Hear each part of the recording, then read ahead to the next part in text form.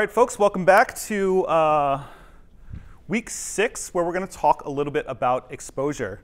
So to this date, we've talked a lot about uh, composition, lensing, storytelling, without focusing too much on the um, technical details of how to actually make an image and match it to our intentions.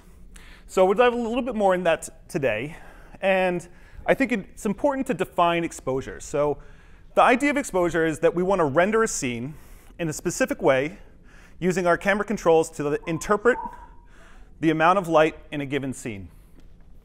So what does that really mean? Well, we're going to dive deep into this, and we're going to look at each of the different camera controls, how they affect the image, and how we can utilize them to make different exposures.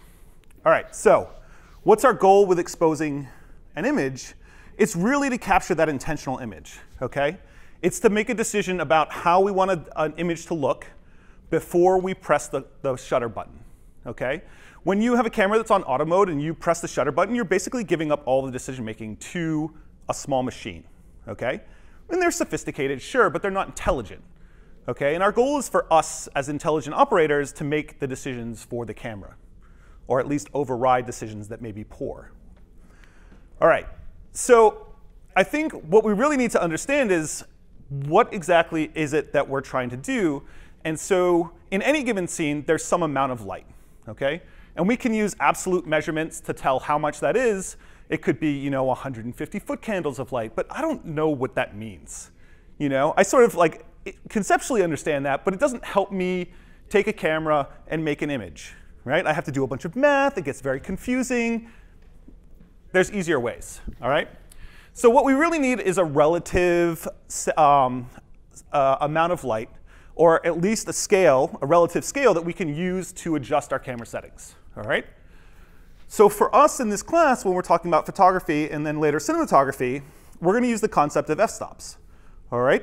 And all an f-stop is, is a doubling or halving unit. Okay? So, uh, if, so if you have a camera that has some sensitivity, sensitivity and you double the sensitivity of it, that's one stop. If you have a camera that has some light coming into it and you cut the amount of light coming into it by one half, that's one stop. They're going in opposite directions, but it's an equivalent unit of one stop. Okay? All right, so just briefly, to get a sense of like how this might look when we look at an image, we have here an image from Mount Auburn Cemetery that's at exposure, right? Roughly. Okay? And I made this exposure using a DSLR, and the light meter that was in the camera sort of told me that if I set the camera settings to this, it'll be at exposure. And I think it did a pretty good job, right? There's no real complaints there. All right, so in an effort to sort of investigate how much difference a stop might be, I opened up one stop. So I allowed one, double the amount of light to strike the sensor. Okay?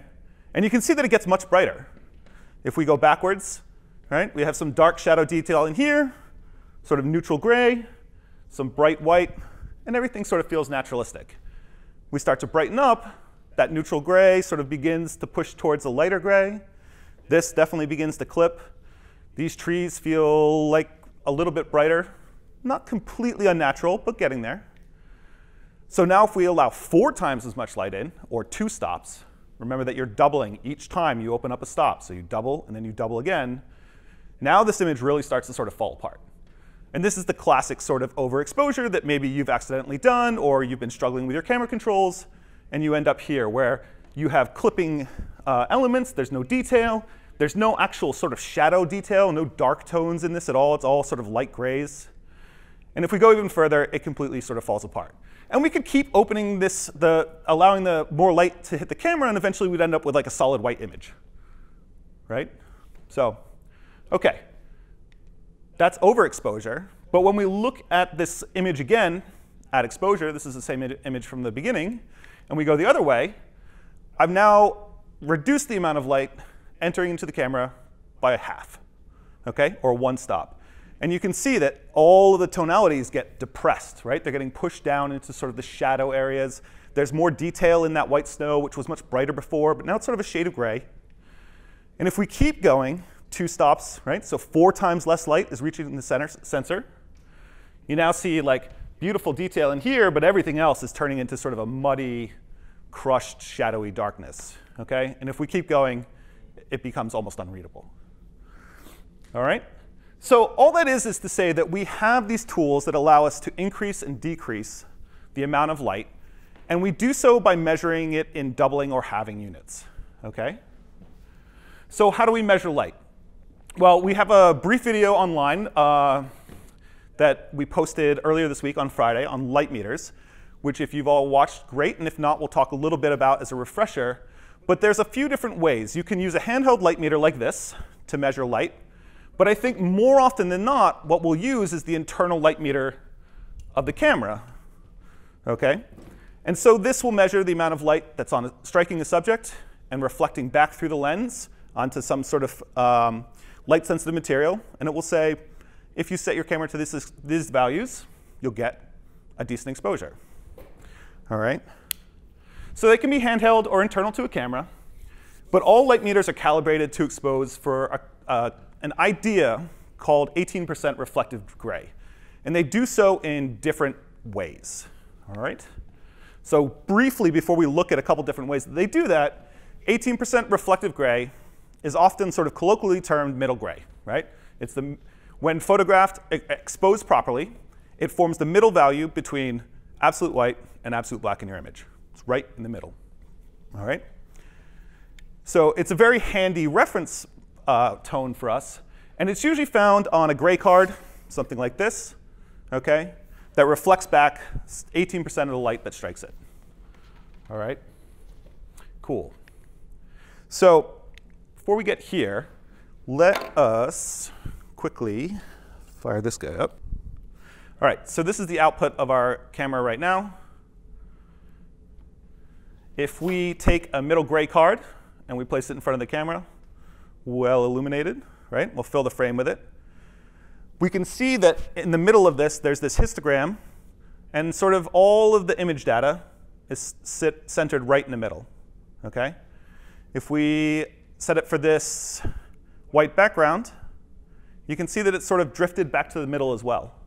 And that's sort of interesting because we would expect that this tone to reflect more light, okay?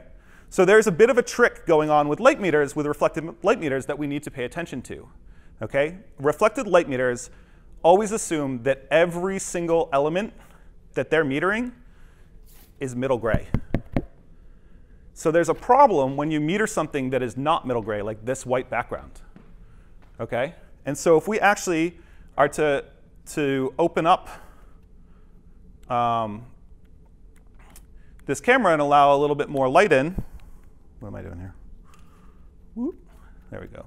I got auto IS on. Okay, so there's this shadow. Let's get this shadow out of here so we get. So now all of a sudden we've brightened the image up by allowing more light in, and this tone is rendering normally, or as we would wish it to. Okay? So we can also do the same thing if we have sort of a black object, right? You can see that the camera, using the reflective meter, set this value to add exposure, which is lining up that small cursor with the caret in that scale, you can see that this is not black, it's middle gray. Right? It's actually rendering this incorrectly. Because what it's expecting to see is this middle gray card. So what we need to do in order to um, offset that is actually underexpose what the camera is reading. So now when we, we check this, the camera's like, you're over three stops underexposed but this starts to look correct. Okay? So we talk a lot about this. Thanks, Dan, for the second. Um, in the light meter um, video, and we'll come back to this, but that is to say that, that in any given scene, right, the exposure suggested by a camera is made to be 90% accurate. Okay? Most scenes have a mix of light values, dark values, and values in between. So if you sort of assume that that all melds down to about middle gray, you can suggest an exposure meter, and the, the meter will suggest an exposure, and when you expose for that, you'll be pretty accurate. Okay? But so this scene here is pretty much all highlights, right? And my camera said if you set it to these settings, you'll get a, a, a properly exposed image, right? But it's not, it's too dark, okay? So if we open up one stop, oh, we're getting closer. Snow's starting to look like snow. And if we open up one more stop, right, maybe we're a little bit too far, right? It's getting a little bit bright over in this area over here, but it's rendering as a very bright white. Okay? And sort of side by side, you can see it here, the metered exposure versus compensating by increasing our exposure one stop. Okay? So this is what I mean to say when I say that we need to be a little bit more intelligent than the machines. They're very sophisticated. They can measure all kinds of things, but they're still sort of locked in and referenced at specific values. So we need to understand what those are so that we can compensate and sort of use our intention to override the camera when it's making essentially a dumb decision. Yeah? Middle gray is meant to be halfway between true black and true white. How come mm -hmm. it's 18% and not 50? So it's, it has to do with the sensitivity of, or the way that our human eyes render light, and because it's logarithmic. So it's like it's it's a power function. So 50% is not quite halfway on a linear scale when it gets transformed, I think. Um, but essentially, the the it is because if you have say all right, this is a good example. If you have one light bulb and you turn it on and you add another light bulb, right? It's almost like you've doubled the amount of, of brightness, and it's a very obvious di difference. But if you have 100 light bulbs and you turn one more light bulb on, it's sort of a, such a tiny incremental distance difference. So we're dealing with light on this power function scale where we're doubling and we're halving. And so the value that gets us to that middle gray is actually 18% and not 50% because it's not a linear scale. Okay? So, which there's, there's plenty of math and I certainly won't do it justice, but we can dive down that, that rabbit hole another time. All right. So we looked a little bit about what exposure is doing and how we might fool ourselves with a light meter. But what are the actual settings that I was just changing on the camera? Right, I was pushing and pulling at some, some sort of buttons and dials, and I was clicking some things, and the image was changing, but what was it? Okay? So there are three main camera controls. The first one is ISO, okay, which is the sensitivity of a sensor to light, all right, or a film stock, or any kind of medium that we're using to capture light. All right? The second is shutter speed. How long do we let light strike that sensitive medium for. In the case of DSLRs, it's how long the shutter is open. Okay, but maybe there are other mechanisms in play on other cameras. And the final one is aperture. So in every lens, there's a diaphragm that opens and closes. And depending on how open that is or how small that is, it lets in more or less light. Okay, and that's a, a control that we have at our uh, disposal. And so by using all three of these elements, we can control how much light reaches the photographic sensor. All right, and how sensitive that sensor is to light more generally. So let's dive in a little to each of these categories because they're sort of different artifacts that happen when we, can, when we change and control each one of them. So first one, ISO. So it's, again, measures the sensitivity of a medium to light. In digital cameras, it's the sensor. In old film cameras, it's actually a type of stock, like film stock, and they each have different ISO values. So, and the sensitivity doubles and halves, right, which is that unit of a stop, with when the ISO value is doubled or halved, okay?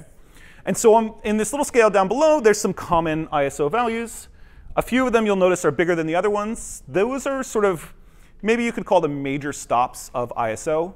When you bought film stock Back in the day, it generally did not come in these sort of third stop increments. It came as 100, or you'd get 200, or 400, or 800. So sort of through that, they've become our major stops. And there's ISO values in between that digital cameras can replicate, okay, at third stop intervals or maybe half stop intervals. But every time you double the number, so if you go from 100 to 200, right, it's now twice as sensitive. And if you half the number, going from 800 to 400, it's half as sensitive. And it works even with the third stop. So say we had our camera at 320 and we double it to 640, right? That's doubling the ISO value. That's one stop. We've increased the exposure value of the camera by one stop. And by default, most DSLRs that you buy, and, and mirrorless as well, will increment by thirds of a stop. So you can set it to half stop or only to do full stops, but by default your camera, as, as you kind of click up, and this is all the exposure values, is a third of a stop. Exactly. So you know, it, when, when we were shooting on film, sort of predominantly, you would load a camera with a roll of film and you would have one ISO at your disposal until you finished that roll of film. So the flexibility of digital cameras is sort of amazing, right? Because in any given moment, you know, I had it on auto ISO by accident, and it was just sort of changing ISO to every stop in between for any different shot that we want to make. All right, so let's do like a little exercise because I really want to drive home this idea of, of the relationality of stops, right? So if we go from 200 ISO to 800 ISO, how many stops difference is that? And is it more or less sensitive? This is a good time for the internet to chime in if you're on there and want to join us. Yeah? Um, I'm going to say more sensitive. It's more sensitive, but how much more? Two stops, it looks like. Two stops, right? Because we, have we start at 200 and we go to 400 and then to 800. So we've doubled, then doubled. That's two stops difference. Absolutely, right? More sensitive. Great. How about this one? Ooh, so much math. It's all the arithmetic. 1650. How about someone from Zoom? Anyone feeling brave? Carlos says five stops. Five stops. Yep, less sensitive, exactly. Very good. All right. How about 320 to 400? Oh, this is a little bit weird. Right, I was talking about it halving and doubling being a whole stop. What do we think this might be? One third up. There we go. Nice. All right, and this finally one where we have a sort of weird incremental stop that's maybe not one of those major stops, 500 to 1,000. Is it doubling or halving? Right, it's doubling. It's going 500 to 1,000. It's one more stop, stop more sensitive. Okay.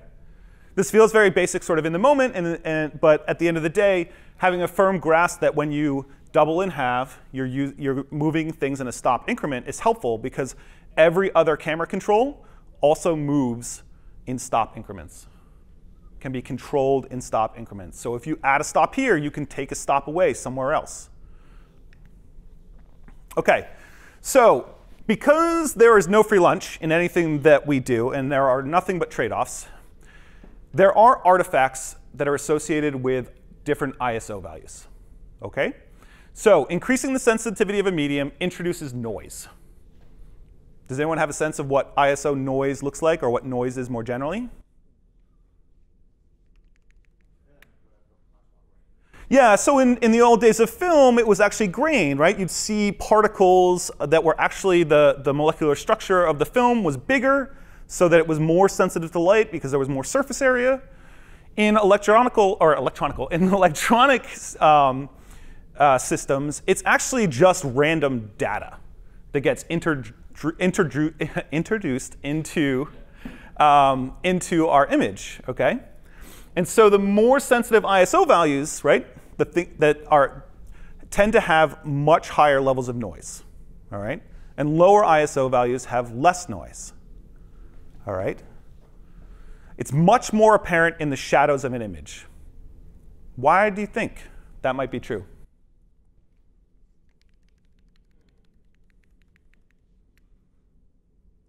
Yes? Got less data in. Yeah, so there's less data in the shadows, right? There's no, there's no information to overwrite a noise value. So you can see even low value noise in, a, in shadows because there's very little data there to begin with.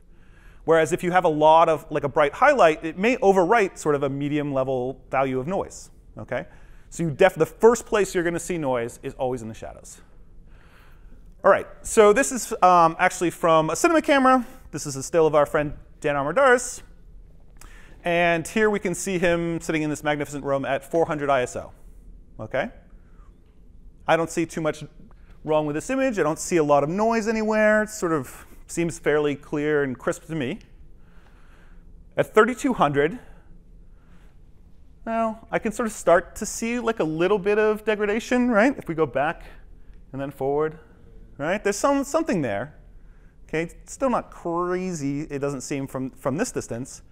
But then if we go to 12,800, that looks like wild, right? There's just so much textural element to it, so much noise.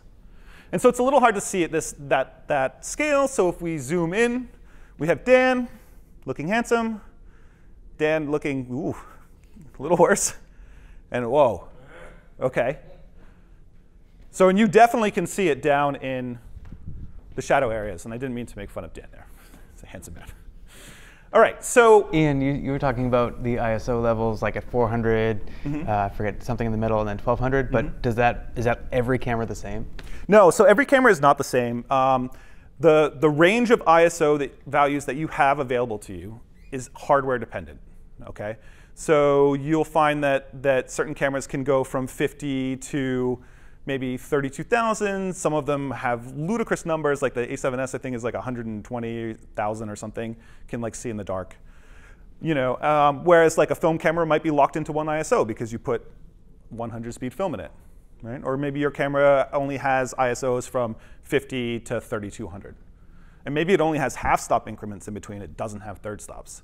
So the range of ISOs that you have available to is hardware specific, but the, the relationship is the same regardless of hardware. Doubling or halving increases or decreases the sensitivity of the medium by half or double. And my question also, uh, like 400 on one camera, is it the same as 400 on another camera? I would say um, no, because, because I, at the end of the day, the way the hardware is interpreting the electronic signals is different for every single camera. And so you may have one camera and say, oh, there's no noise at 400 ISO, and then use a different camera, and you may find that in a specific image there is a lot of noise at 400 ISO. Okay, and so there's there's definite variability in the quality of the um, electronic circuits that are in digital cameras, and so obviously higher tier cameras are going to do better at um, more ISO values than lower tier cameras. So, Yeah. But sens- so sensitivity wise, they are the same, but there are definitely trade offs Yeah. between different models and different sensors as far as quality. right, exactly. So it's it's it's has the same sensitivity, but you may actually end up with more noise, more artifacts in it because of the quality of the camera. That's a good way to say it. Okay, so why would you ever accept more noise? Right? Like the why would you ha- why would you increase the noise if it looks so bad? Why would you do it? Well, it's a really pragmatic decision, right? Like there sometimes is just not enough light. It's nighttime, it's dark, it's dusk.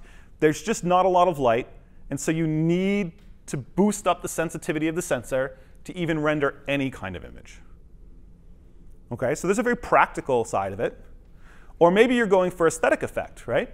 To mimic grainy footage. Maybe you're trying to mimic some surveillance footage or something like that. Or you want to go back to a lot of street photographers used to shoot 3200 speed film and it always had really um, heavy grain in it. And maybe you like that kind of look and style and you want to add a, a little bit of n- more noise into your image to mimic that. All right, for a textural effect perhaps. Here's a picture of a ghost I took. I was ghost hunting last night. Do you see it? No. All right. Well, you guys will have to investigate it later. Okay. Um, so shutter speed, right? So that's ISO. It's um, the sensitivity of the sensor.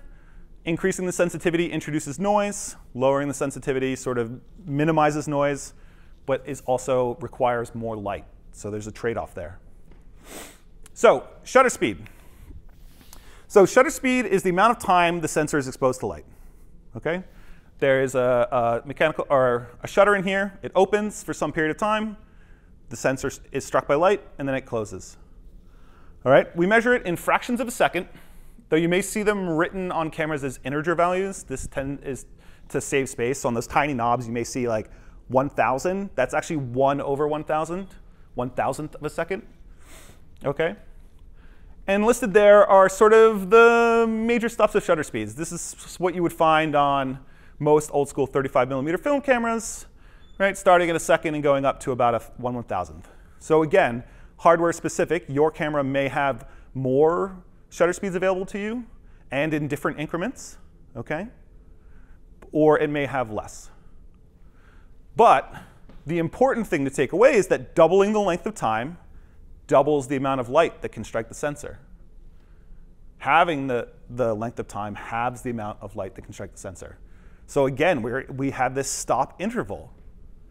So you could imagine that if I have to um, decrease the sensitivity of my sensor, maybe I can open the shutter for a little for, for twice as long. So go down one stop here and up one stop here, and it's the same amount of light, just manifesting a little bit differently.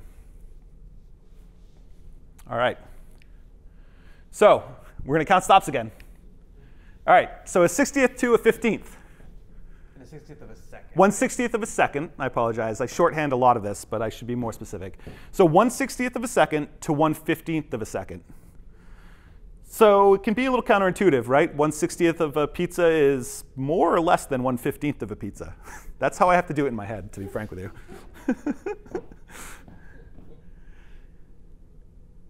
how many stops? Yes? Two, two stops. Two stops, right? So it goes from 1 60th to 1 30th, 1 30th to 1 15th, right? Two stops more sensitive, or more light striking the sensor. 1 1000th to 1 30th. So much counting. Alex is five stops. Bam, five stops. Uh, okay, and that's wrong. That should say more sensitive. Okay, that's a typo. I apologize. Because we're going from 1 1000th of a second to 1 30th of a second. That's much more light. That should read five stops more sensitive. I'll fix that before the end of the lecture. Okay, so 1 500th to 1 400th. This is odd. That doesn't feel like a doubling or a halving. What might that be? A Third, maybe? A third, right? Yep, a third more sensitive. And from 1 180th to 1 190th, those are odd numbers that weren't on our list. But it's still half, yep. Exactly, so it's one stop more. All right, so like all things that we've talked about, there is a trade off with shutter speed, okay? You can't just open up or slow your cameras or open up your camera for as long as you want and still expect to, to render a crisp image.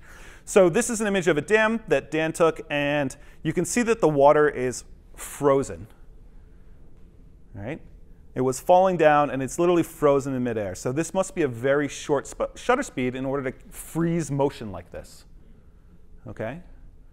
The blink of an eye. Here's the same image at with the same amount of light, so technically these exposures are equivalent, but they look very different. In this one, there's time for the water to fall all the way down, right? And create this sort of streaking effect in the image. So this is a slower shutter speed, right? What is it? Uh, half a second. So the shutter is open for half a second. Whereas in the previous one, what was it? One four thousandth of a second. I can't, that, that's sort of, that's beyond fathoming to me. It's too fast. All right, and so this image takes a second to load, but you can see here a composite image that Dan's made that starts at very slow shutter speeds and moves towards very fast shutter speeds. Okay? And if we actually put the shutter speeds there, you can see sort of incrementally where motion begins to sort of look how we might perceive it normally into being frozen instantaneously or drifting into this fairy-like wispiness. Yeah, I mean, this kind of raises the question of like how fast is fast enough, too. Right. So, I mean, it really depends on your subject, right? For for sports, maybe one 250th of a second is fast enough to freeze motion, um, but obviously to freeze water falling, you need to, to crank it up even further. So Yeah. And, and also like perception too, because when I think about, you know, when I turn my tap on and what I see, I see something over here, right? I can't make out sort of individual drops unless I'm sort of tracking them. It's gushing, but it doesn't look like this. This is sort of very ethereal, right? And it definitely doesn't look frozen in time like the one before. So the speed of the object matters, okay? And sort of our perception of that speed as humans defines how what it looks naturalistically. Is that to say that human eyes are sort of equivalent to some f-stop, would you say? Um, I don't know. I th- um, maybe. there are arguments online that Yeah. yes, but Oh, I I'm going think back. it varies very much by person to person as well. Yeah, and, and, and I think the arguments is is you have to be looking at a fixed point, right? And everything when humans sort of track objects, fast-moving objects, f- to achieve more clarity than maybe if they were, if something passes right in front of your your vision while you looked at it, look at a fixed point. So it, it's a really hard experiment to perform because people's eyes are always moving, and if you move something in front of them, they they just will track it, and you sort of get It's all skewed data, I would say. But there probably is some sort of upper bound of, of what we can resolve with our eyes just as fast as, as they refresh. So this is last night's snowy night. The snow is just streaking down through these wires.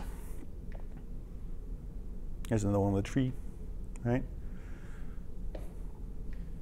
Just to go back one second Yeah. to the, the previous conversation, I think it also largely comes down to something known as frame rate, which is how many images you see in, a in sequence, and what human perception is to believe something is actually in motion. And so I think that is a, a bigger part than like shutter speed, for example, as far as what feels natural and feels normal. And we're going to punt to the next lecture in here on that when we talk about video. Yeah, sort of idea of persistence of vision, right? You have, you know, video is not moving images, it's a sequence of still images, and we perceive them as moving because they happen fast enough that we don't notice. So there is some sort of threshold where that happens. I'm just not convinced I know what it is. Okay, so to say that, to sort of jump back to that idea of we can actually track objects to increase the perceptive focus of this, this is a car that's driving by, but by panning with the car, okay, I was able to capture this in focus while the rest of it is out of focus at a much slower shutter speed. If I hadn't moved the camera at all, everything would be blurred. It would just be a, a large streak. And I think we should be careful with what you say is in focus versus what's not in focus, right? Yeah. This is actually motion blur, Right. which is different from something being in soft focus. That is true. A very important distinction. Okay, so this is actually it. Um, as it moves across the sensor, you know, it ends up looking blurry, which is that the idea of that motion blur, for sure. All right. So it does lead us to sort of this question that that if there um, if shutter speeds get low enough, you can actually introduce shake or movement just from your own human body. It's, this camera's on a tripod, it's very stable, but if I hold something, I'm always moving, always. Let's try as hard as I might. So the rule of thumb is to minimize handheld camera shake, set your shutter speed to faster than one over your focal length. All right, so it seems confusing, but I have a 50 millimeter lens on here. In order for there to not to be any camera shake when I hand hold it, I should be shooting it faster than 1 50th of a second. All right, if I put a 70 millimeter lens on here, or a 100 millimeter lens, then maybe I want to shoot at 1 over 70th or 1 over 100. Okay?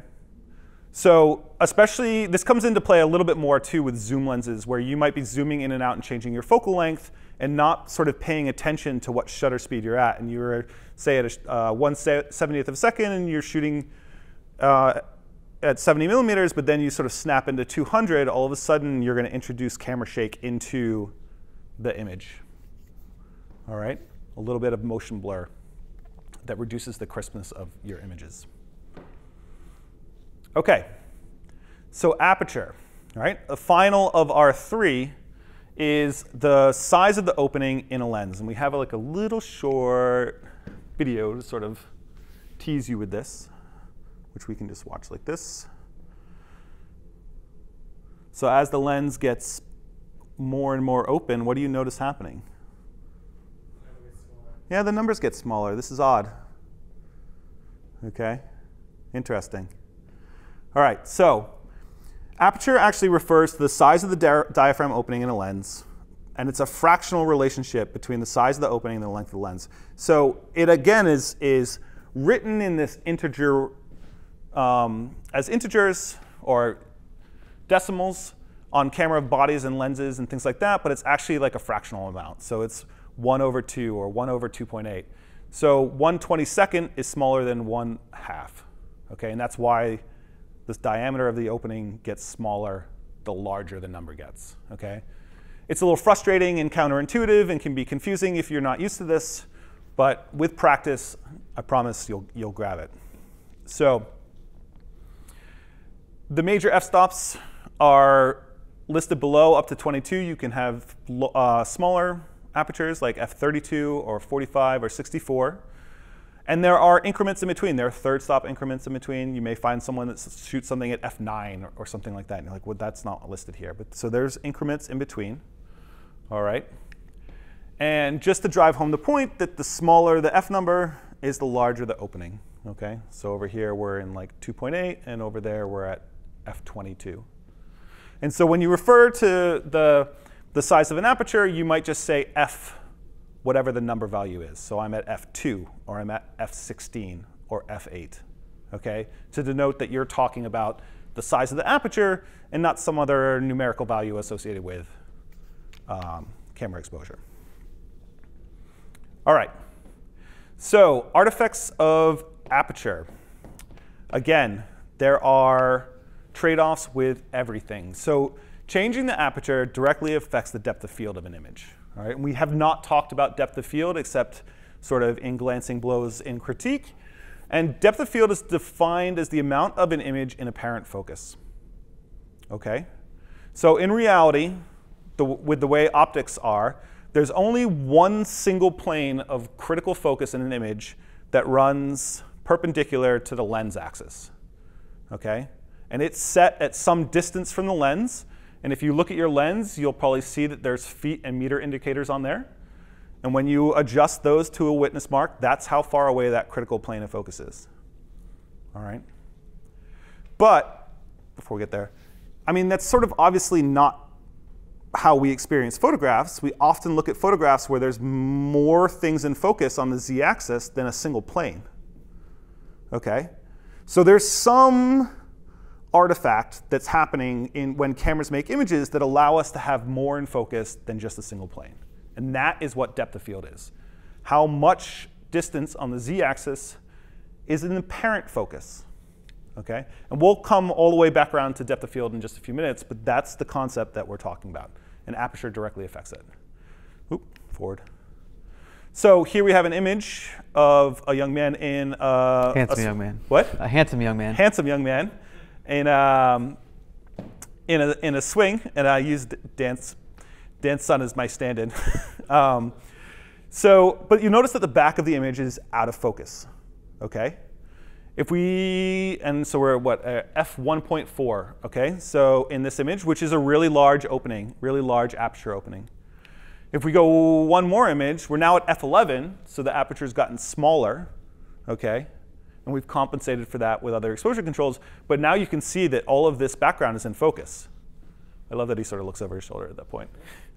What's that? Okay? And so side by side, you can see that these images, while the exposure is the same, right? the sort of brightness of the light values and the darkness of the dark values is the same, they look very different. You know? And so you can use depth of field as a creative tool, and it's often used to sort of separate people from environments to make things more intimate, okay? Or to show how expansive an environment might be if you go the other way, okay? Can, uh, can I Yeah. give an easy way to remember the uh, f-stops? Yeah. Can you set a dra- drawing for me? Yeah, I can.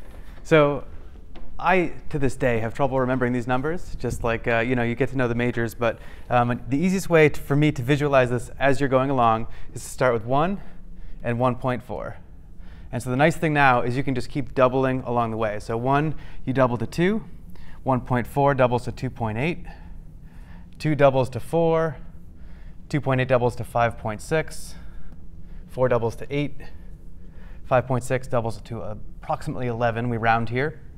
8 doubles to 16, uh, 11 doubles to 22, and that covers most lenses that you'll pick up and, and operate with. So if you're trying to remember this scale, start with just remember 1 and 1.4, and then keep doubling. quick and dirty. All right. So we talked to, oops. So I was sort of uh, alluding to that these have the same, they're allowing the same amount of light to strike the sensor. They're just using different settings in order to do this. So that means that there's some sort of idea that you can have different exposure settings that yield equivalently exposed images with different artifacts. And so as a, as a photographer or an image maker, you have to make decisions about which artifacts you want and which ones you don't. Okay, and it comes back to that idea that we were talking about so much of intention, right? And supporting your sort of narrative story, okay?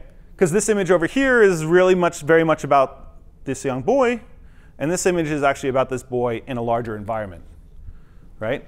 And by making a decision to, to make, have narrow depth of field, we're focused in with the child. But to have expansive depth of field, we're sort of looking at the child in relationship to the space. All right, so exposure equivalencies. So we can expose the same scene with different settings and yield an image that is at exposure. Okay? But how does the image change?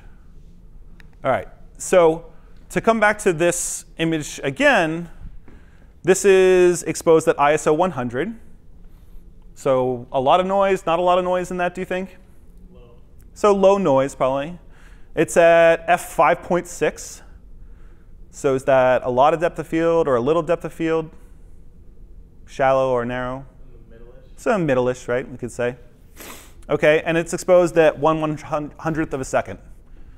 So when we think back to the image of the dam with all the sequential shutter speeds on that, it's not super fast, right, to freeze anything like uh, falling water or anything moving really fast, but it's fast enough to freeze most things.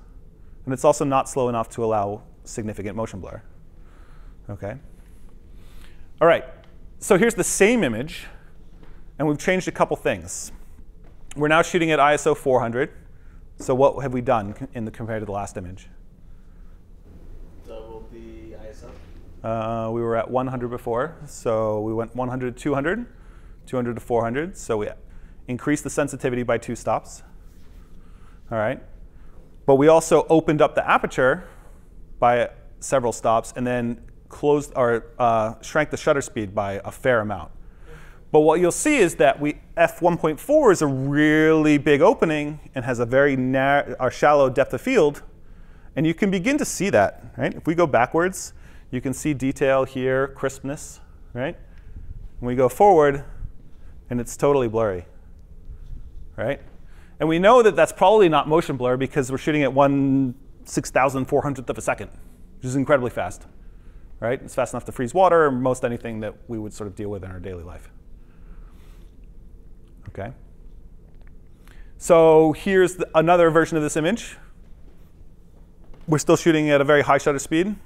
We're shooting at a deeper or a smaller aperture, which gives us deeper depth of field.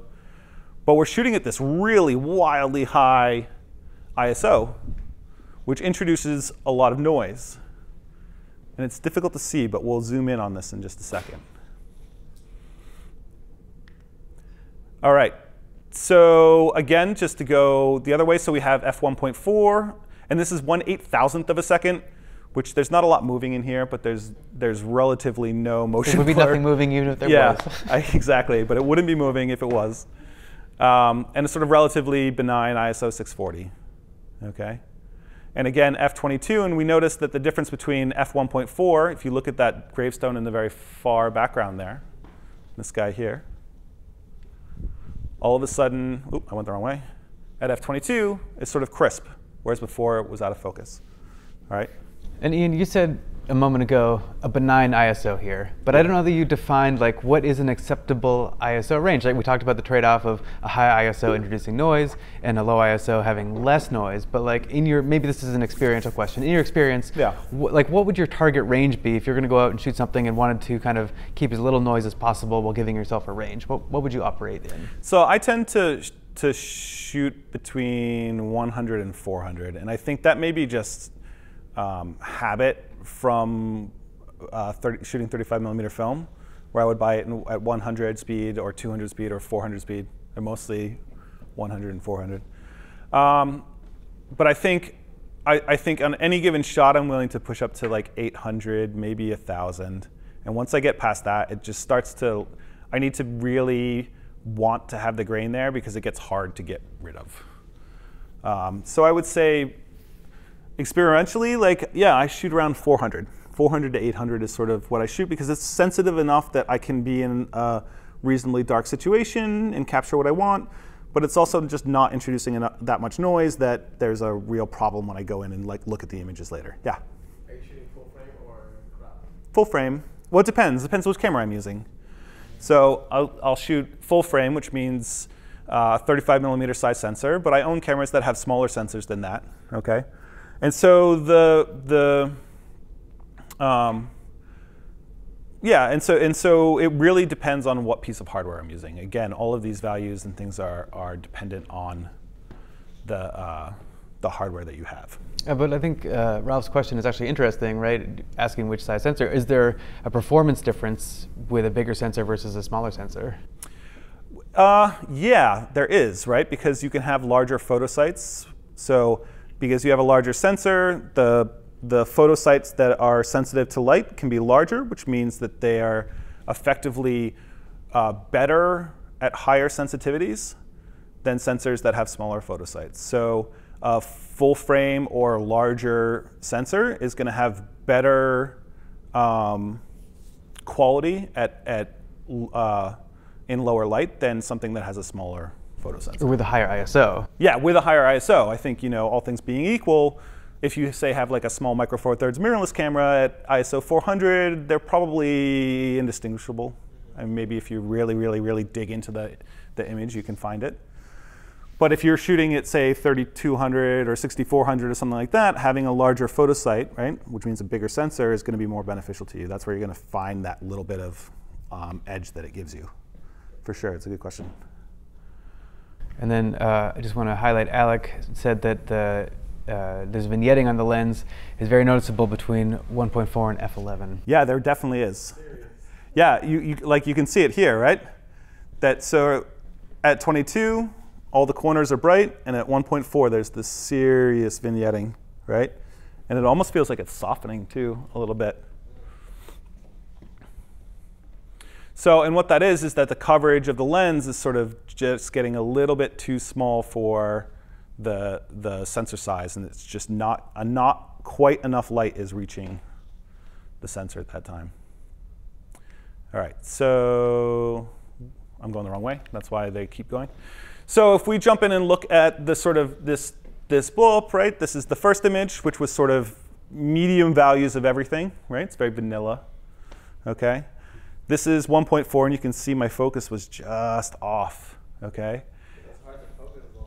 It's really hard, and I sort of left this in here as an illustration that, that you might think you have something in focus when, when you're looking at it at a, um, with a, a smaller aperture, but then if you open up, it may not quite be, your plane of focus might, quite, might not be exactly where you expect it to be, okay?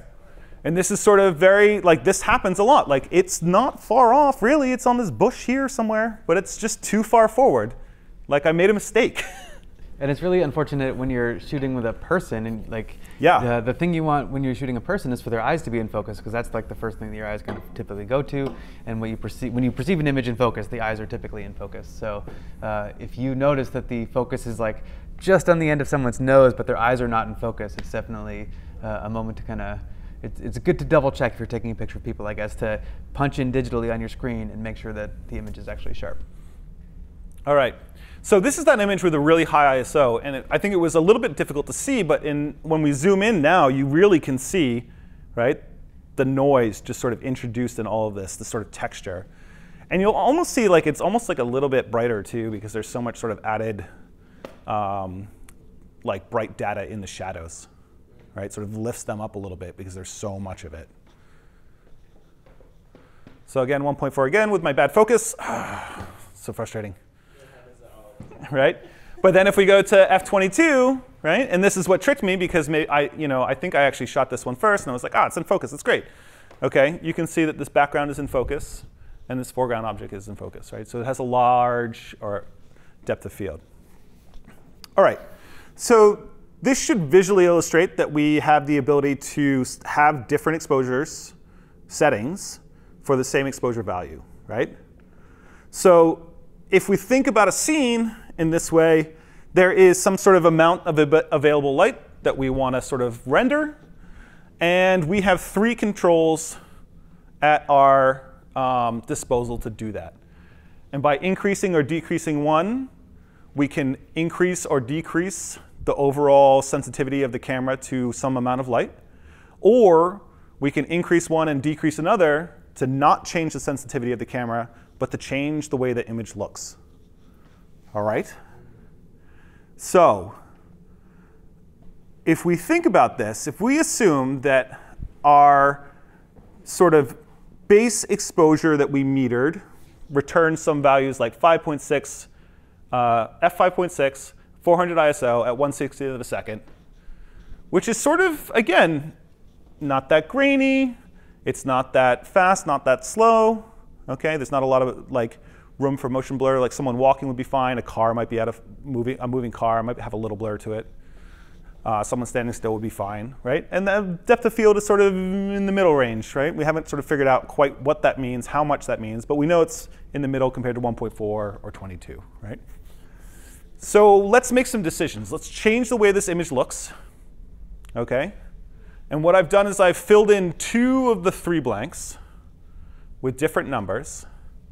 How, so we should, at this point, be able to calculate what the empty space is. So to like, let's walk through the very first one, right? So before we were at 5.6, and then we close down one stop to F8, so we allow less light in, okay, by one stop.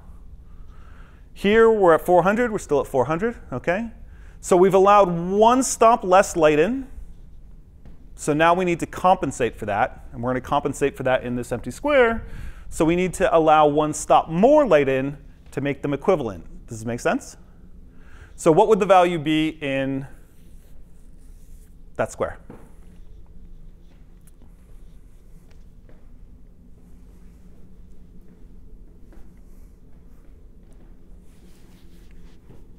Yeah. I've got the internet. You're right here. Go ahead. Uh, Mouse says, should we go up to 130th of a second? We should. Well done. That's awesome, right? So we reduced the amount of light by one stop by closing the aperture down. So we had to increase the amount of time that the shutter speed was open by one stop. Okay? This isn't the only decision we could have made, but it is the decision here. Yeah, to maintain to maintain our exposure, the same exposure that we had given by these yellow numbers up here. Okay? All right. So now we have a different set of numbers. And again, we're still going to reference the yellow numbers. Don't worry about the bottom one, right? So we open up the camera from 5.6 to 1.4. Okay? Can you go back to my drawing? Yeah. To go this far, I still have to visualize it. All right, so we're going from 1.4. Well, we started at 5.6, right? Sorry. Was the original exposure value, and we need to we're going to open up the aperture to 1.4. One, two, three. I Four. won't say the final number. Somebody else can say it. All right. So we've added four stops more light by adjusting the aperture value. We still haven't adjusted the ISO value, so that's the same. So we now just have to compensate for four stops more light. Got a few answers from online. More light or less light? Well, so you tell me. We started at 5.6, and we're going to 1.4. Okay, we. I thought you were talking about. Okay, yeah, I'm there. I'm there. right? So the smaller numbers are larger openings, which is sort of counterintuitive. But so we've gone five stops more open. So where would the shutter speed go to? Do you, ha- you said you have an answer? I have a few answers from online. Okay. Uh, so I have 1 over 240. I've got 1,000, 1 over 1,000, uh, 1 over 960. Okay. So let's start with we'll start with the lowest and we'll go all the way up. So 1 over 240, right? So we were at 160th and we've we want to reduce the amount by 4 stops, right? Is that what we decided? So we go 160 to 1 120. Right? 1 120 to 1 250, which doesn't match perfectly, but that's sort of the way it is. 1 250 to 1 500 and 1 500 to 1 1000th. That's our four stops, right? So we end up at 1 1000th of a second. And this is a good moment to kind of highlight this rounding that we do, kind of fudging of the math. Yeah. It's the same thing from 5.6 to F11, and we make that jump. It's not quite, but it's easier to talk in whole numbers than it is to remember a 1 960th of a second. Right, exactly. And so you will find as you sort of investigate some of these concepts that, that some of the numbers are scales on the cameras maybe do have that fudge factor and like when you go from 5.6 to 11, which doesn't quite make sense because it should be 11.2, I think. Um, all right, so let's do this one here. So we were at 5.6, and we open up to 2.8. How many stops? All right, 5.6, 4, 2.8. Yeah, two stops. 160th to 130th, opening or closing? More sensitive or less sensitive? More sensitive, okay. By how many stops? One, so we add one more, so that's three stops difference. Okay. So now if we were at ISO 400 and we've added three stops of light, how much less sensitive do we need to make that?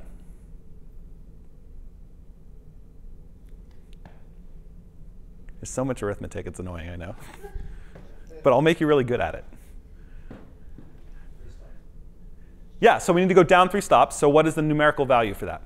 Ruben and Santiago take from on the left. Okay, perfect. That's exactly right. Right? Great. And Alex had it. Great. All right. So our last one, we've doubled the ISO. And we've done something with the shutter speed. How many stops difference is the shutter speed from 1 60th? Oh, I still have to do it in my head, right? 130, 115. So it's you go from 1 60th to 1 30th, 1 30th to 1 15th, 1 15th to 1 8th. Uh, that doesn't make any sense, but that's what the number is. Okay. So it's three stops, um, more light, and we've also doubled the ISO. Okay. So that's one stop more sensitivity. So that's total of four stops. So if we take the aperture, we need to close down four stops from 5, 6. So we just go the other way. We go 5, 6 to 8, 8 to 11, 11 to 16, 16 to 22, F22. All right. And finally, this last one, boy, I don't even understand this one. We go 400 to 320. That is not halving nor doubling. What do we do? Yeah, it's a, let's say, let's do the rough math. It's about a third. Okay, so I've got a third of a stop. I don't know how to do that with my fingers, so I'll just keep it in my head. Now we go from 1 60th to 1 100th. Is that a full stop? Full stop would be 1 120th, right? So it's two thirds, right? So now we got two thirds and one third. Ah, one stop. Perfect, right? So we just have to open up to F4. All right, so it can get a little funky and it can get like you can start to sort of move and, and shake things around, but you literally can make different images, okay? So what does this image look like? This middle one. 1, 4, 400, 1 one thousandth of a second. Yeah, okay, so we noticed that when it was at 1, 4 with this lens on this camera, there was serious vignetting. So if we use this same system again, right, we'll get serious vignetting. But what's the artifact that we really care about? It'll have very shallow depth of field. What about things that are moving in that? Say there's some cars in it. Yeah, they're going to be frozen, right? One one thousandth of a second, that's pretty fast.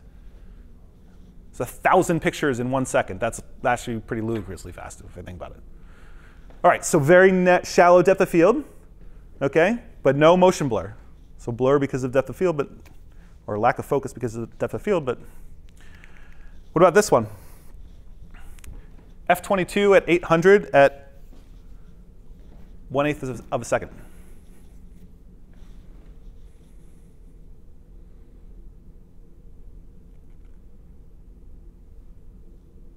Yeah. It's gonna have a wide very wide depth of field. Mm-hmm. Uh, it's potentially gonna, depending on the lens, gonna have like a bit of shake or blur. Mm-hmm. Um, and 800, I'm assuming, not too bad, not too much grain. Yeah, but more than 400 for sure. So large depth of field, and then some motion blur, right? One eighth of a second. I can do a lot in one eighth of a second, like I moved, right? A lot of dancing in one eighth of a second. Okay, so that is to say that like we can actually speculate at what these images look like, sort of abstractly, just by looking at the camera settings. We have an understanding of how to pre-visualize what a scene will look like at given settings. So when you're out photographing, you can look at a scene and you can be like, oh, so there's cars moving, there's some water flowing. I know if I set a low shutter speed, I'm going to get interesting blur. Cool, I want to try that. And you know that you can then increase or decrease the shutter speed so that you end up with more light, and then you maybe have to stop down. Okay, just going to increase your depth of field, which may be an interesting image. Okay, I'm going backwards again. All right, so briefly, what do you think the camera settings were for this image? And we're going to talk abstractly, right? We, without sort of like digging into the image file, we don't know for sure, but we can take some guesses. F11.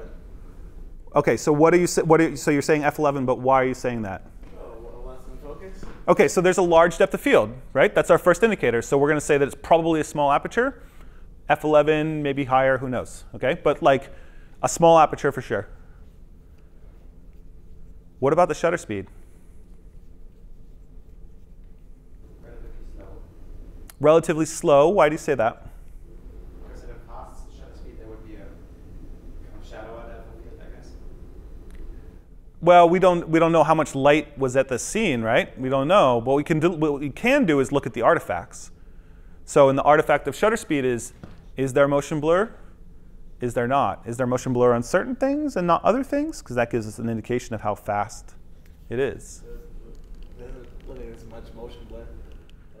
Yeah, so I think you know we're there's the water is rippling in some wind, and that seems relatively crisp. Like maybe there's a little bit of motion blur there, but it's not a lot. It's not sort of distracting, and it doesn't look like the water in the dam picture, which was super smooth and flowing. Okay, Carlos says 600 ISO. 600 ISO. Yeah, why? What, so so so why? What is the reasoning for that? The logic behind that assessment?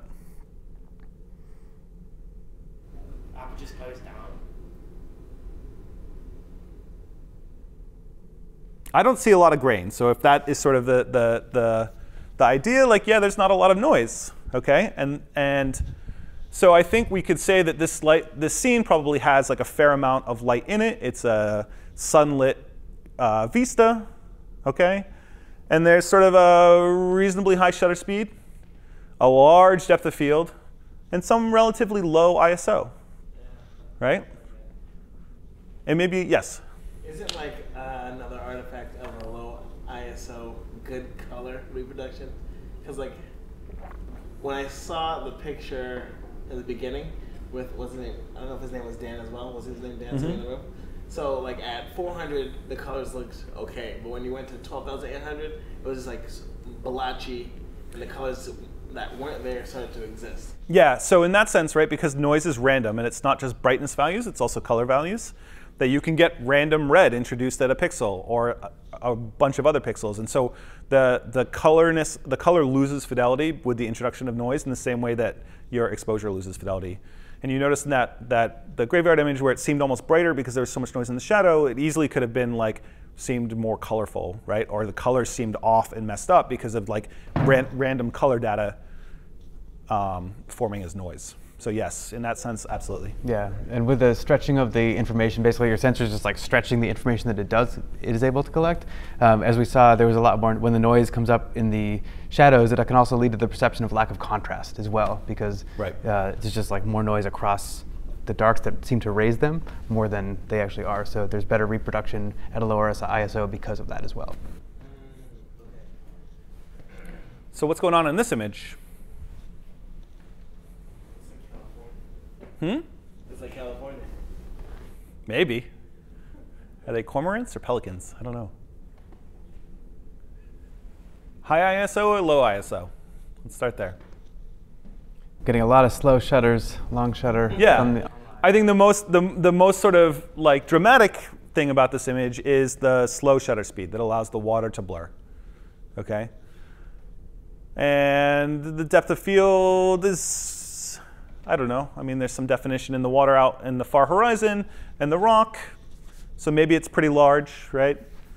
But it's it's you know, and I don't notice a lot of noise. So, but the most dramatic feature of this is someone is utilizing a slow shutter speed for for an interesting compositional effect. And I would say it's low noise because when you have the sun, that's a powerful source. Yeah, right. So they may not need a lot of sensitivity, but we don't know what time of year, what time of day, right? This could be evening or early morning. So there's a lot of like there's a lot of room for variation. Our error bars are large with that that sort of idea, but yep, the sun is an incredibly strong source of illumination, so probably not something really really high, right? And we also don't see any um, any artifacts of that. I don't see a lot of noise in the image. How about this one?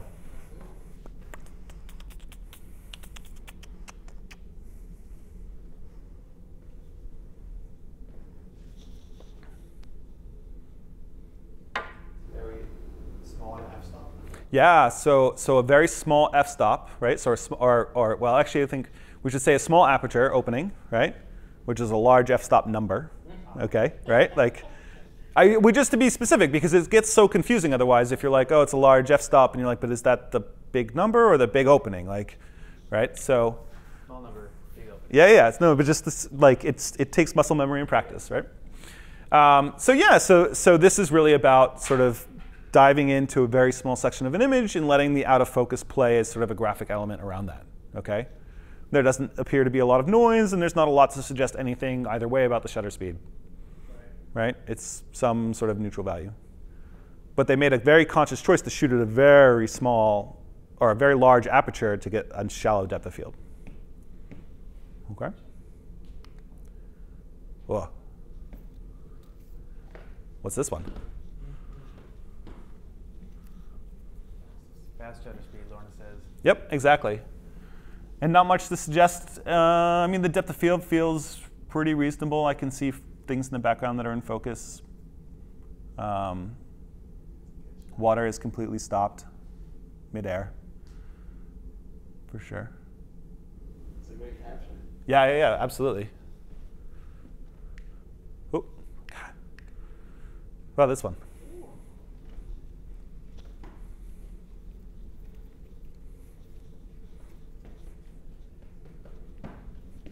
ISO.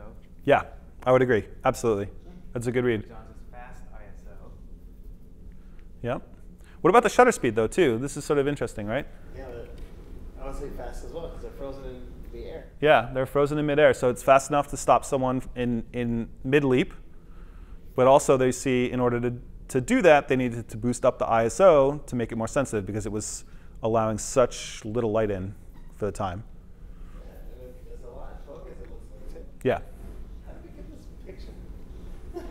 By boosting the ISO, and I think you could like the the the level of uh, grain in the image or noise in the image is sort of really apparent. Yeah. Yeah. One thing on this image as well, like you, we mentioned about color reproduction in high ISO. Mhm. I think this image is like being made black and white, and that's one kind of thing that people sometimes do when they bump up the ISOs when you have bad color. Is that you just make it black white. Mm. Yeah, because the, the color gets really mushy and noisy, and then the black and white sort of begins to feel like a textural, like compositional element rather than a, a degradation of, of some other image. That's a very good point. All right. Nope, backwards again. All right, so let's take a five minute break at uh, 7.04, and then we'll come back and we'll talk a little bit about depth of field, because I've sort of been saying, oh, there's large depth of field and shallow depth of field, but we don't know what it is, all right? So let's demystify this when we return in just a couple minutes. All right, folks, welcome back. Um, so, I want to dive right in and start talking a little bit about depth of field, okay, as a creative tool and also how um, it works from a, a functional standpoint with your camera. All right, so depth of field is the amount of any image that's in apparent focus, okay? We've seen some images where there's only a tiny part of the frame is in focus and everything else is sort of blurring out in the foreground and the mid or uh, in the background. And we've seen images where everything from sort of the, the foreground object to the vast horizon in the distance is in focus, okay? So we need to be careful because apparent focus is, is sort of the linchpin of this. There is only one plane of focus in an image, right? And it's set when you adjust the focal ring on your lens and choose some distance at that witness mark, okay? The rest of everything that you perceive as in focus is a, sort of apparently sharp. It's sharp enough that like our human eyes don't notice that it's out of focus. Okay, so there is a threshold where at a certain point our eyes do notice that it's out of focus. Okay, and this threshold is um, much lower on smaller images. And as you blow things up, and I think you may have experienced this, where you take a picture where you, and it feels like it's sharp, like my gravestone image, and then I blow it up to a big size, and I'm like, oh, it's actually out of focus. Okay. Yeah, on an 85 inch TV, right.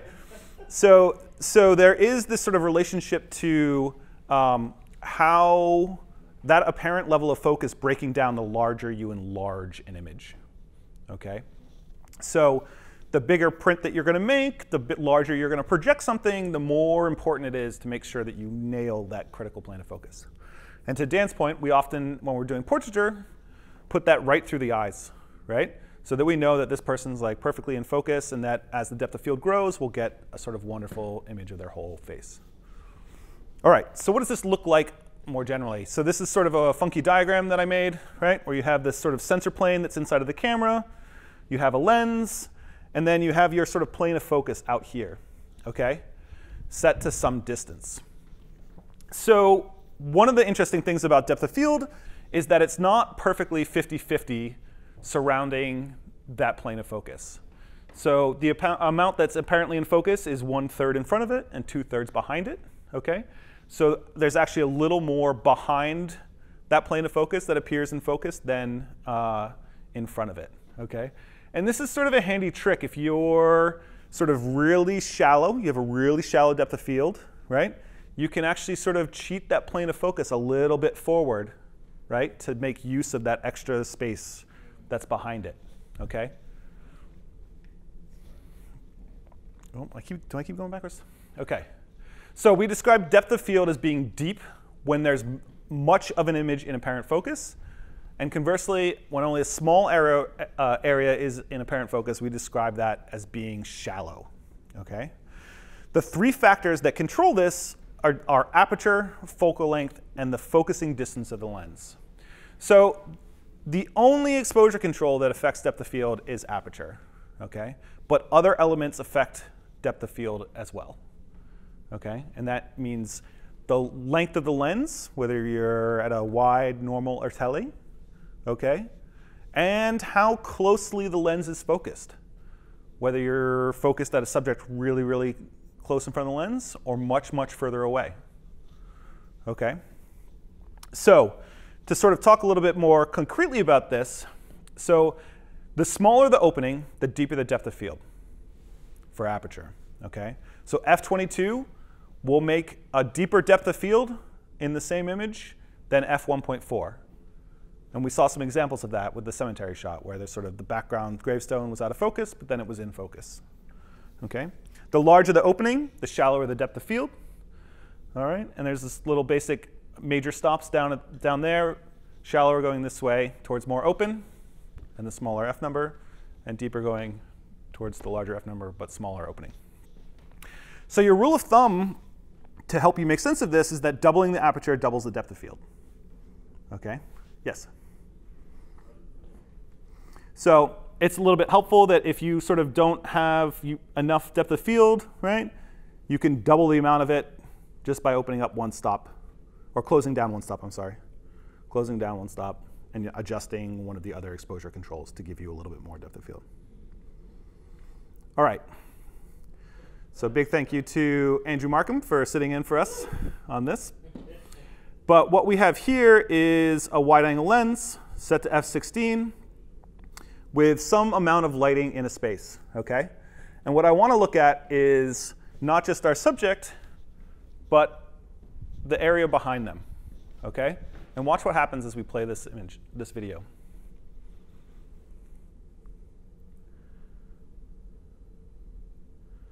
So what we're actually doing in this moment is opening up the aperture at the same time as we decrease the amount of light in the space.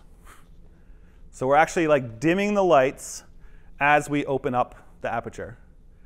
And what you see is in the starting frame, when we're at f16, all of this sort of appears crisp, right? Maybe a little blurry, okay? But much crisper than this, for certain, right? So this is a wide angle lens, right? Do you remember what, what focal length we were at, Dan? 25, let's say, maybe. There's, there's a crop factor too. Yeah, yeah, yeah. So, so, but it definitely is a wide angle lens. And then if we look at this same uh, situation with a normal lens, we'll see something interesting happen, right? Remember that I said that focal length increases depth of field. So here we are with a normal lens. The angle of view has shrank a bit, right? The camera hasn't moved. We've just tightened up the lens a little, okay? Remember from Dan's le lecture. And we'll do the same thing again where we start at f16 and we'll open up the aperture and we'll actually just sort of dim the lights in concert.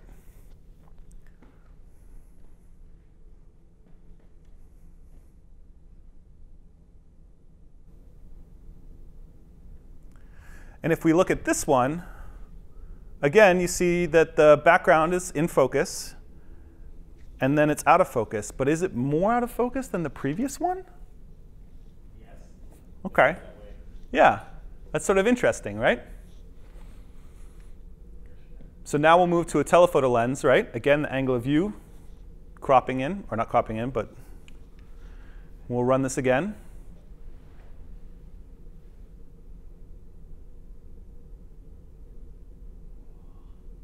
And now it's really soft, right?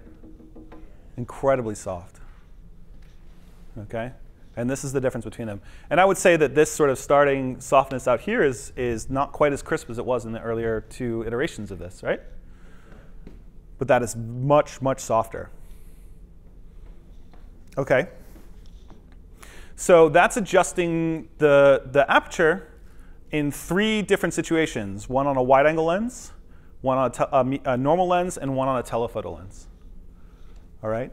And by opening up the aperture, right, making the opening larger, we s- uh, shrink the depth of field in all three of those cases. It's sort of interesting sort of to see how it's different for wide, normal, and tele, and we'll come back to that in just a second. Okay. All right, so one of the other factors that affects depth of field is the distance to the subject. And what I mean by that is where your lens is focused, okay? Generally, I'm just going to sort of assume that we're focused on our subject, but perhaps not. But the distance that your lens is focused at, whether it's near or far, changes how deep or shallow the depth of field is, okay? The closer that critical plane of focus to the film plane, the shallower that depth of field is. Okay, so the closer our subject is to us, the shallower the depth of field will be, versus when it's further away, it's the inverse. All right, and our rule of thumb for this is doubling the distance quadruples the depth of field. So there's some power law here. Yeah, right, or having the, the distance cuts it by four. So It's dramatic though. it is. And, it is. And like I was shooting some macro photography this weekend, and you know I was at an aperture that was you know five six and you know f8, and it was so thin, right? You think of that depth of field as being fairly deep, but it really matters how close you are with a macro lens. You're right up against your subject, and so this really like is exaggerated there. Right, and I think maybe even that image that we looked at that was the, the green plant with that really narrow depth of field might have been on a macro lens. Okay. Um, let me just go. What did I do? I went backwards again. Okay, so this is a wide angle lens where we're focused at four feet. Okay. Look at the, the background. This is a lot of out of focus. We have our little rubber ducky there. And as we play this video, perhaps, no.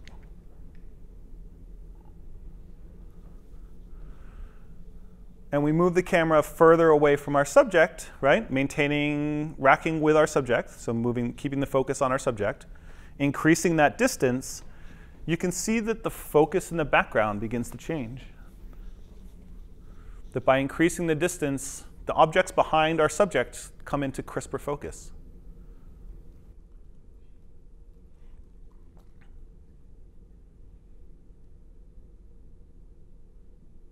It's so slow, it's wonderful. It's like, Can you say this again, please? sure.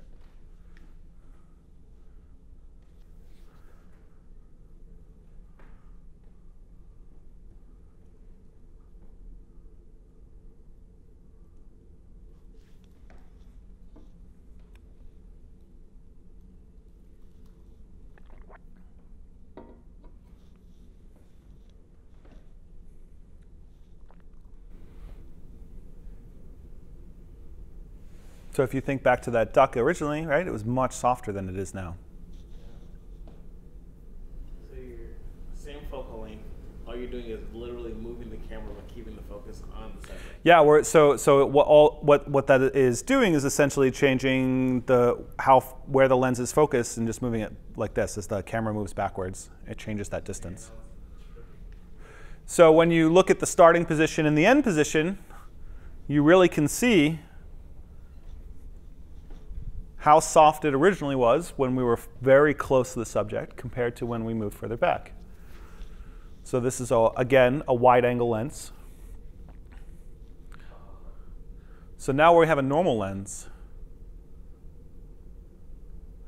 We start a little bit more out of focus, right, in the background. The depth of field is a little bit shallower. This must have been fun to shoot.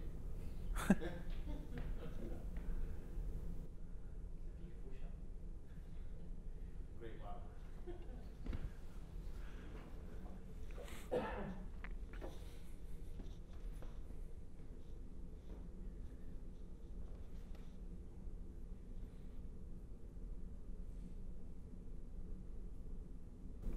Okay, and so if we do our little comparison again, we can see that distance to subject is really driving a, uh, how much depth of field we have in this in between these two images. And to do our due diligence, here's a telephoto lens. Notice how out of focus our, our friend the duck is. And as we move through this scale, we'll see if we can get him to be in focus.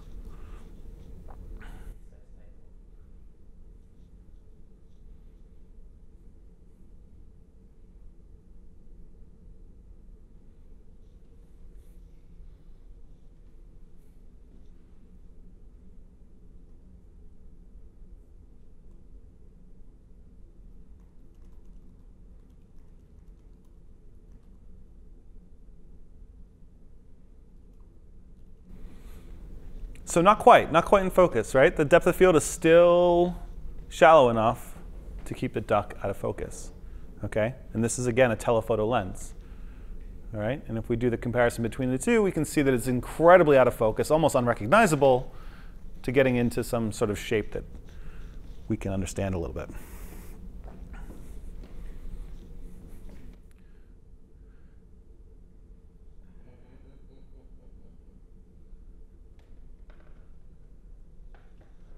What is, what is happening?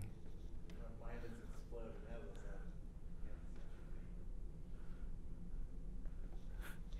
I've seen this before. Okay. So Don't steal my thunder. Okay. We'll leave it for a second. So this is what's called a dolly zoom. This is where the camera is moving back as the camera zooms in at the same time. So we maintain the exact same frame over a camera movement. Okay. And what you notice is we actually go from a wide angle lens with a specific with this this frame to a telephoto lens with this frame, and you can see the actual spatial disor- distortions that happen in real time right? As you change, yeah, you want one more time? Okay, We'll look at this next week when we talk about video as well. yeah. So this is sort of, I really wanted to show it because it's awesome. And one of the things that um, our final element, right, of, of affecting depth of field or controlling depth of field is this idea that focal length matters, okay? That a longer fo- focal length, okay, yields a shallower depth of field. So a 150 a 250 millimeter lens on a full frame camera, right? A telephoto lens has a shallower depth of field than uh, a wide angle lens, okay, which yields a deeper depth of field. And I think we, we saw that when we looked at the, the how different each of the elements were um, when they were in uh, wide, normal, and tele, right? The wide angle lenses had more in focus in the background than the telephoto ones, right? regardless of the aperture. Yeah, regardless of the aperture, right? So, so well, yes. So e- when we were when we were changing aperture, right? If we go, let's whoop, let's go back here. So we were changing aperture here, okay? And you can see the effect that it has on depth of field. We didn't change focal length and we didn't change focus distance. Okay? When we go to here and we change, let's use this one. We don't change aperture, right? We don't change focal length, right? This is a wider angle of view. This is a camera backing up. Okay, this is just the distance to the subject, and you can see the difference between, between the, the elements. But that is to say that, that this image compared to this image are two different, right? This is us changing focal length while all the other elements stay the same, right? We still shift it over distance, but this is a, its own unit, okay? So your rule of thumb for this is having the focal length quadruples the depth of field. Doubling the focal length cuts it by a quarter, okay? That might be helpful for you in the field if you want to like, I need much more depth of field, right? A little, little rule of thumb to help you get there. The interesting thing though is that in this comparison, when we start at the, um, at the beginning and the end, does the depth of field different? Right? And I think maybe we'll do this, it's this, this side by side here. So this is, this is the dolly zoom that we did. We started um, with a wide angle lens, very close to the subject, okay? And we didn't change the aperture. We did change the focal distance. But then we moved the camera to a telephoto lens further from the subject, okay? So we increase the focal length, but at the same time we also increase the distance to subject. And what you, if you look at this, it's sort of apparent, but it's difficult because we maybe don't see this. But the parts that are out of focus are sort of similarly out of focus in both of these positions. So that means is that, that as the focal length pushed the depth of field right smaller and smaller, the distance the subject pushed it larger and larger, and they sort of offset each other. Right? Remember that our rule of thumb was if you change it by half, it doubles it. If you change it by half, it or if you change it by half, it quadruples it. If you change it by half, it quadruples it, right? And so those two values actually offset each other. So for the same frame, focal length doesn't do a lot um, to adjust your depth of field because you have to change the focus distance. Does that make sense? And they actually offset each other. Okay. So um, if you, let's draw it. Maybe that's the easiest way. Okay, so if we have a frame here, right, and we have a frame here, and they're the same frame, right? But for this one, the camera is very close. And for this one, the camera is very far. And for this one, we're at a wide. And for this one, we're at a tele, right? We've zoomed the lens out. as we, This is exactly what the dolly zoom is. It starts close. It moves this way. And as it moves, we zoom the camera in, OK? So what we've done is this focal length is getting larger, which we know produces a shallower depth of field. Right? We're going from a wide to a tele. Okay?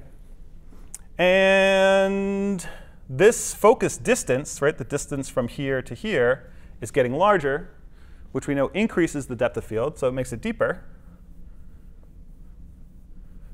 And in doing so, they essentially cancel each other out, roughly, right? Um,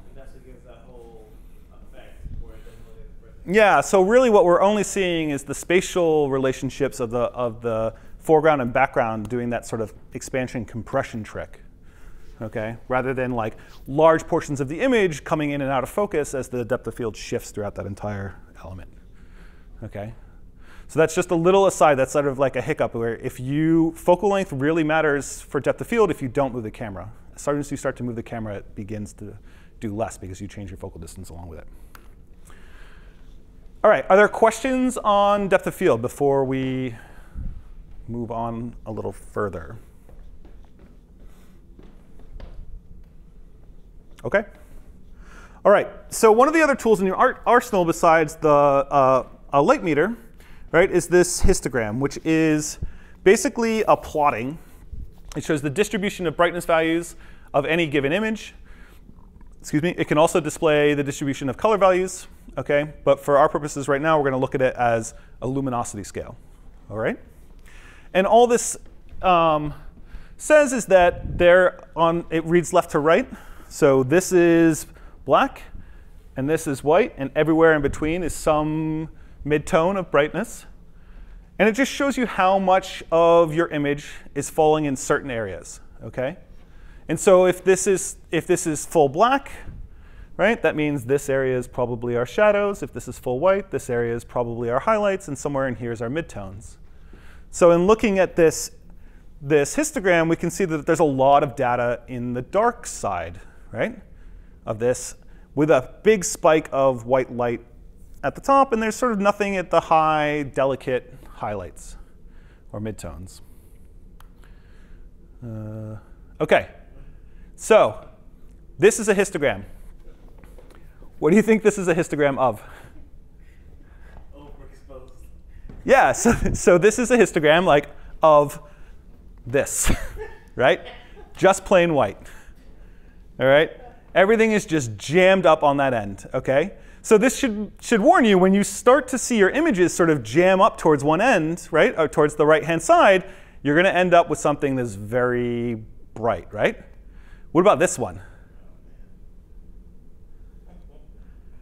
Yeah, it's, it's this. It's just this. It's just black, inky blackness, right? Okay, how about that one? Is this 18%? Yeah, this is middle gray. It's this image right here.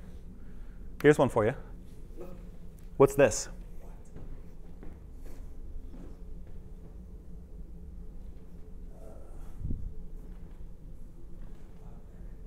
It's a lot of everything, right? This could be a public school's image with a highlight, a shot highlight. Yeah. Maybe. Yeah. It's actually just this gradient, right? It's equal parts of every, every sort of element, okay? And it renders a very flat histogram. So, okay. So, so but what's interesting about that is sort of this flat histogram, right, tells you that there's a completely even distribution of tones, right, which sort of suggests that, that that's exactly what this is. It's about as even a distribution of tones as you can get, right, in any kind of image. Well, what's interesting too, like just to hammer on the point of like how to read this, uh, this gradient is on the left black, on the right white, which is how you, a histogram represents its luminosity as well. But if you were to reverse this image, right, the image, the histogram does not read left to right like an image does. It would be the same histogram. Yes. Yeah. Actually, that, that yeah, exactly. Because it's just basically saying that there is certain number of, of dark pixels in this image, right? And certain number of light pixels in this image. It doesn't care where they are. Just there's this much value, right? So let's go back to this sort of histogram that we saw before. What do you think this is a histogram for? It keeps coming back around. It's like a boomerang. Alex has an outside shot. Okay, an outside shot. That's sort of interesting. Why might we say that? Alec, also feel free to unmute and just shout You it can out. unmount. Yeah, we can hear you. Um, my my guess, looking at that, would be like your your outside shot that you had because there was so much shadow detail from like Oh, in yeah. the trees and everything. Yeah, totally. It's the same shot. Just keeps coming back. Yeah, that's nice, right? So there's not a lot of highlight value in this image, right? There's a little bit of that snow, but most of it is this sort of dark tree value, which is sort of pushing the majority of our tones into this shadow area, right? But we see a pretty decent distribution of tones, and we have some highlight values, and we have some some shadow values, right? And the very rightmost pixel here on the right side, we also have this indicator up here, and it looks different in different softwares, but this is the clipping indicator, meaning that something is fully overexposed, meaning that it's true white. Yeah, and it honestly is is the um, it's the middle section in here. This is total like there's some small amount of that that's clipped out pretty hardly, pretty hard.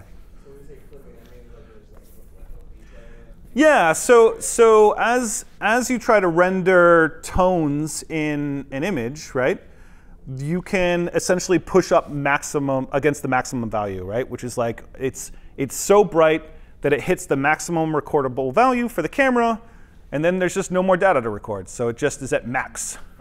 It's at full, right? Which is usually overexposed, like clipping overexposure, right? It will show up as white because it's maximum red, maximum blue, maximum green. It's just pinned at the top. Okay? Yeah, and the, exactly. And the opposite is where it is just crushed down to that black. And that's what those two extreme examples of the white histogram and the black histogram were, right? Where there was like all the values were just pinned at either the left or the right, either the highlight maximum highlight value or the, the minimum uh, darkness value. Okay? And so once you clip, though, you can't get that information back, right? It's lost. There's no way to bring that back. If you sort of try to do any correction on that and bring the tone down, it's just going to shift in grayness, right? Because there's no detail. It's just bright white. It's a flat white field, and if you bring it down, it just will be a flat gray field, or oh, you go all the way down to a flat black, right? Okay, so if we look at this here histogram, which is sort of the idea of a low-key histogram, it's pushed to which side? Which is shadows. Okay. And, right? We got some midtones. Not really a lot, right? Yeah. And we have some and there is highlights. a peak of white. What's that? There is a peak of white somewhere in there as well. Yeah, there is like a little bit of, of brightness, right? You can see it ticks up just at the end, right? Just a little bit there. So what do we imagine this image looks like? Fidelis is underexposed. A hmm? white dot on a dark wall. A white dot on a dark wall, yeah, something like that, right? Yeah, okay, so, so there's some small amount of brightness in a large dark field, right? It's a pretty good read, okay? This is probably our white values, right? There's the tiny bit of midtones that we were getting, and the rest of it is falling off into these very distinctive shadow details. Okay? So you might have looked at, if you look at this histogram, like all tools, it can be fooled, right? This was an intentionally exposed image to have all of the values, right? To have this be dark, right? To have everything pushed to the left. Because that's the sort of the, the, the composition that this photographer was going for. But if you were sort of just looking at a histogram, you'd be like, no, that's not right. I'm looking for an even distribution of midtones. And I think you'll find like a lot of people suggest that that's the correct way, but it's not always, okay? It does matter about your intention, right? So the flip side of this is uh, sort of a high key histogram, right? It's pushed to which side? The highlights, right?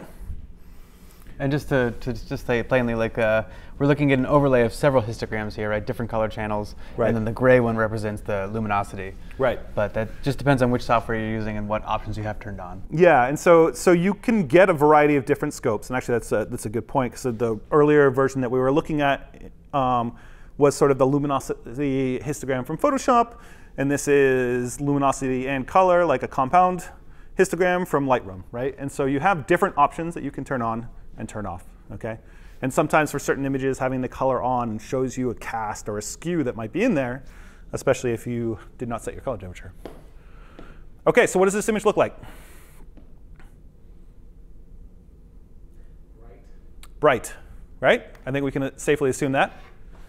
There's not a lot in here that is actually a deep dark color, right? Dark tone. It's mostly whites, bright sky highlights. There's some grays in there. There's not even really a solid black, maybe a little bit of a shadow detail in there. Okay, and so when we look at the histogram, you really can see this, okay? And so again, we're not using sort of that an even distribution, but we're letting, we understand that this is correct for our subject. Okay? Sweet.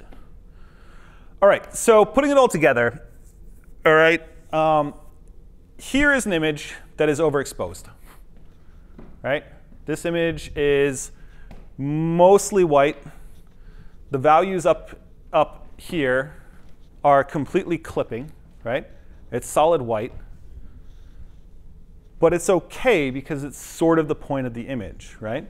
So this is a intentionally overexposed image, right? We could meter this and the camera might try to tell us to make this a middle gray because it thinks that's what we want, but we know we're smarter than it.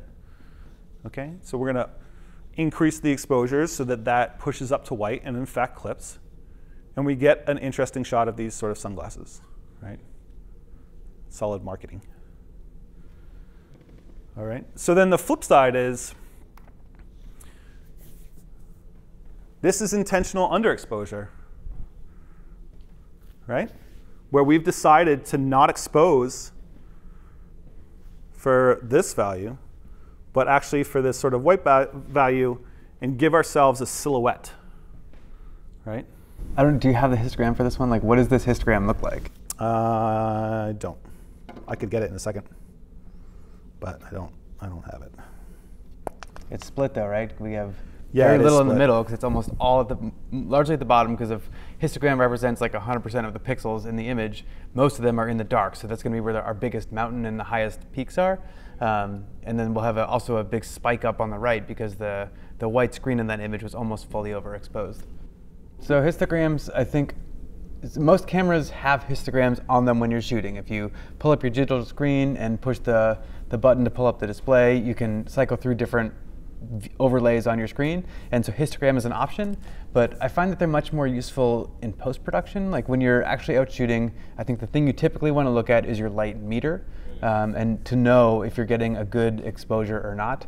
Um, and obviously you'll either intentionally shoot at exposure over or under, but at the end of the day, um, histogram is helpful when you want to look at overall trends once you get to post-production and, and really to check if you are clipping any information at the highlights or in the shadows. I think that's really where the histogram is best served. Yeah, and I think I think actually um, I I also tend to sort of, you know, check the histogram early when I'm shooting, but when I'm pushing exposure in an image like this or an image where it's it's really bright and I'm gonna maybe push up against, um, you know, overexposure or clipping, I will look at the histogram at that moment when I know that like I'm compensating and I want to make an image brighter and I want to push it up towards that sort of bright white value. I want to make sure that I don't clip right? Because I can't get that information back, so I want to get as close to it while still maintaining some detail in the image. Okay? So so it is a it's a really good tool for when you begin to experiment with pushing and pulling your exposure away from what the light meter is telling you. Right? At the end of the day, 90% of the scenes that you photograph, the light meter is going to do a- an amazing job at sort of calculating some calibration for you. Yeah, it'll get you really close, but it, you then have to make a decision. Do I accept this or do I push one way or the other? Okay? And the other thing I'll just say, since we're talking about histograms, is the useful thing, the indicator that popped up. Um, in post, and we haven't covered Lightroom in this class, but if you're using something like Lightroom or Photoshop, typically if you hover over the indicator that you're overexposed, it'll show you an overlay on the screen where which portion of your image is clipping. And it's just helpful to get a read on exactly which part of the image is over or underexposed. All right. So um, I think that's sort of the tail end of our, our conversation about exposure. I want to stop for a minute and see if there are questions from anyone in the audience. What questions do you have? I have a question. Yeah, go for it. Um, Will you introduce histograms? Uh, Dan briefly mentioned this, that we can see a histogram in our viewfinder or- or on the Yeah. screen in our cameras? You can in in um, a large number of cameras, and I think this is now turned off. So let me just fire up this camera. We can take a look. So this is the output of the um, 5D, and it's currently shooting this bright white wall. Okay, and you can see that the histogram is pinned, except when I walk in front of it, right to the uh, right-hand side, okay? But if we do something like maybe introduce another tone, again, this is overexposed, we can see that the histogram starts to move, right? This is a darker tone in real time for what it is that it's seeing. So in this image, I would look at this exposure and I would know that, okay, if, I'm, if what I want is a bright white field, I have successfully exposed this image, right? But if I don't want that, if I want some kind of detail, right, I'm going to adjust um, some values, like maybe I'll close the aperture down, which you can see I'm doing on the bottom, and I'll change the exposure so that now I don't have a bright white field, but I have a middle gray field, right? And I know that it's rendering as middle gray because it's sort of right in the middle of the histogram. There's this giant peak. I think, uh, can you push to talk? Is- Sorry. That's So I right. assume you have to be on a manual mode in order for this, to see a histogram and It's- alter all of these different. It's actually just sort of like uh, one of the info features, right? I can actually turn off all of that clutter. Um, if I press it again, I get it without the histogram. I get some extra data, and then I can turn the histogram on. So your camera may or may not have this feature. Most do at this point. So there should be either a way to turn it on in the menu and or a button that uh, functions to allow you to turn this on so you can get a sense of what you're exposing for. Yeah, and Lorna, your camera may not have it in automatic mode. You might need to be in a different camera mode. Hmm. And we did record a short short video on camera modes, so we'll check that out after this lecture if you have more questions. And if I can just speak experientially for a second Yeah. with histograms, like like I said, I think when you're going out to shoot, I don't find them all that useful when I'm shooting, but the times that they are useful, if you're shooting in bright sun and can't quite get a read on your screen, and you want to know if you're overexposed, like on your highlights, um, it's really helpful in that moment. Um, but for the most part, I, when I go out and shoot, I am using exclusively the camera meter. Yeah. And I think that's a good point. Just like it's sometimes very hard to um, assess your focus on a very tiny monitor or through a viewfinder, it can be difficult. It can also be very difficult to see uh, uh, a, a LCD screen in bright sunlight, right? Which is, I think, what you're talking about, and that the histogram sort of proves to you what is happening in the image because it's not based on some visual cue. It's based on the actual data in the in the field. Okay. So again, there's videos. There's a, a video on light metering more generally and how to trick and fool your light meter, and also one on camera modes, which I would encourage you to watch for the next assignment uh, because there's a couple. We're going to ask you to experiment with the different elements of exposure, and you can use either aperture priority mode or shutter priority mode uh, to help you uh, play with that, as well as full manual if you're feeling brave and adventurous, which I encourage you to feel at this point. Uh, any final questions or parting thoughts? All right, well, we'll stick around for a few minutes and uh, let us know. But thank you all very much, and we'll see you next week.